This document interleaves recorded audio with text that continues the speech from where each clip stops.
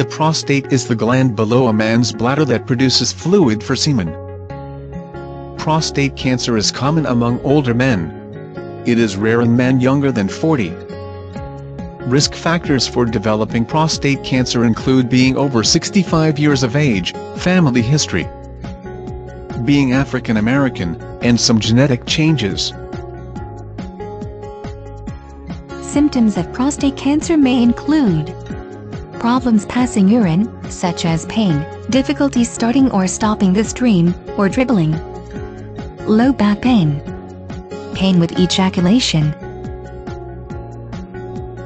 Your doctor will diagnose prostate cancer by feeling the prostate through the wall of the rectum or doing a blood test for prostate-specific antigen, PSA. Other tests include ultrasound, X-rays, or biopsy. Treatment often depends on the stage of the cancer. How fast the cancer grows and how different it is from surrounding tissue helps determine the stage.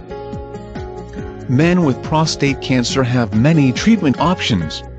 The treatment that's best for one man may not be best for another. The options include watchful waiting, surgery, radiation therapy, hormone therapy, and chemotherapy.